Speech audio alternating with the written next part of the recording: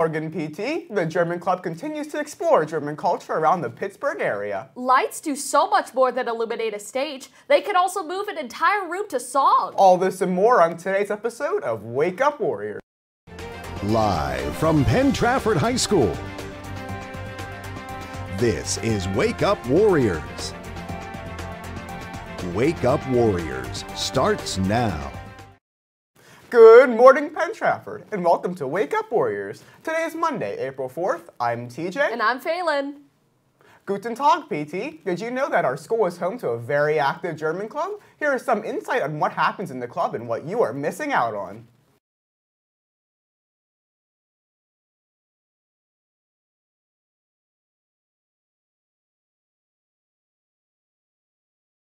First time that the uh, German club has gone to the Carnegie Museum of Art. Normally, every other spring, we'd like to go to the Nationality Rooms on Pitt's campus and combine that with our lunch spot of the Hofbräuhaus. Um, but Pitt's campus is still sort of in a, in a closed down situation for COVID. And so I was looking around for other things we could do that are German related. The Carnegie Museum of Art uh, came to mind because they have a number of German pieces and they also have a Gustav Klimt painting. Gustav Klimt is part of our German 3 and our German 4 curriculum. So it was a way for us to really connect the um, curriculum into our field trip. German Club Treasurer Theodor Swecko and Vice President Zach Hans give their perspective on the club as a whole and their own experience of the field trip. Pittsburgh is a very culturally German city. It really is. A lot of Germans moved here after the war. It's a lot of Polish influence, so very Eastern European. So it's a good blend of German and uh, Pittsburgh culture.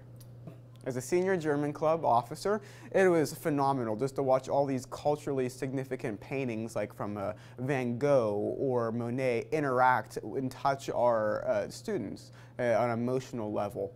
They, uh, they led us through the art exhibits of the Carnegie Museum of Art and uh, we took a stop at a few uh, German related paintings and kind of just like looked and interpreted the paintings and we did some activities with them. Um, I think my favorite part was how um, up to interpretation the art really is, because you could have one idea about what is going on, and it could be totally different to the person next to you or what the artist thinks. But that doesn't mean what you think is right or not. This has been Mason Tossadori reporting for PT TV. Students have just begun the production phase for their articles for issue 8 of The Warrior, meaning they are in process of setting up and collecting interviews. If you are interested in buying a subscription to The Warrior, you can talk to any of the students involved or Mr. Warziniak. Subscriptions are $2 and come with a lollipop of your choice. Issue 8 is planned to come out April 13th.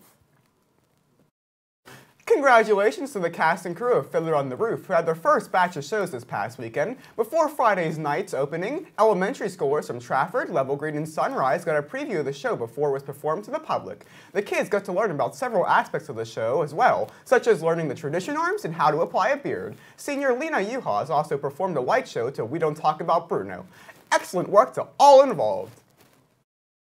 Attention seniors, the yearbook staff needs your photos from elementary, middle school, and high school for the senior slideshow, which will be aired on Yearbook Distribution Day. Please send your photos to pthsyearbook at penntrafford.org or at ptyearbook on Instagram. We talked to Mrs. Thornton to learn more.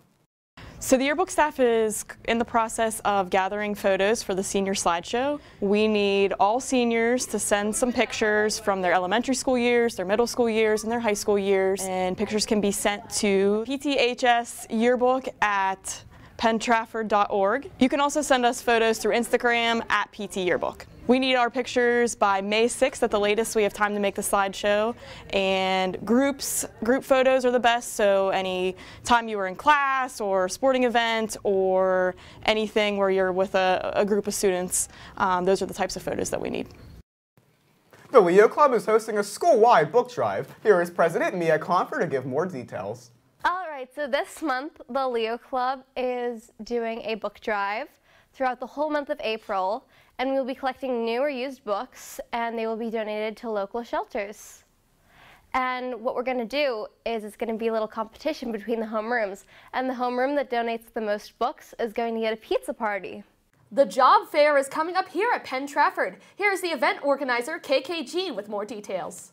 All right, so I am speaking to you today about the Job and Opportunity Fair that we have on April 7th. So during fifth period in the gym, there will be about 20 employers, volunteer opportunities for you to sign up um, and get a job for the summer, or even look at places that have jobs for later on, like Hamill Ma Manufacturing.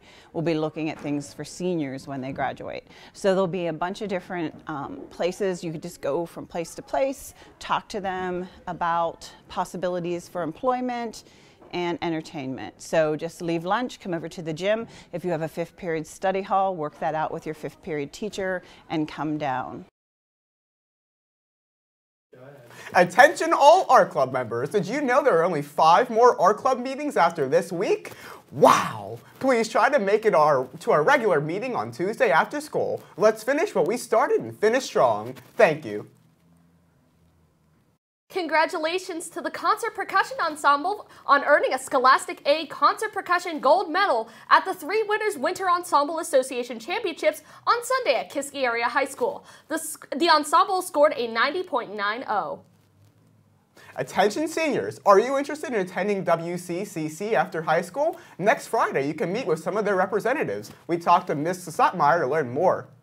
On Friday, April 8th, WCCC representatives will be coming to Penn Trafford to meet with our current seniors.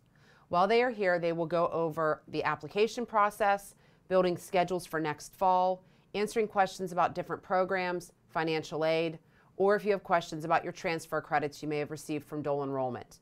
In order to participate, please make sure that you complete the Google form that I emailed to you this morning.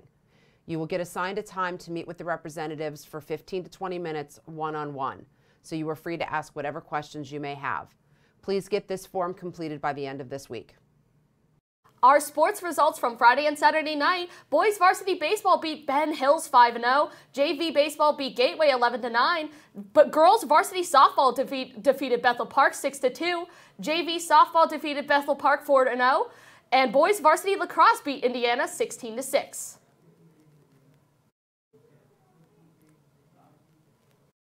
Oh, tonight in sports, home JV baseball versus Franklin Regional at 4 p.m. Boys varsity lacrosse hosts Norwin at 7 p.m. and varsity and away varsity baseball is at Fra Franklin Regional at 4 p.m. and softball at Albert Gallatin at 4 p.m. Followed by JV at 5:30. Good luck to our Warriors tonight. Thank you for watching Wake Up Warriors. Please stand for the pledge of the flag. I'm TJ. And I'm Phelan. Have, Have a, a great, great day, day PT. PT.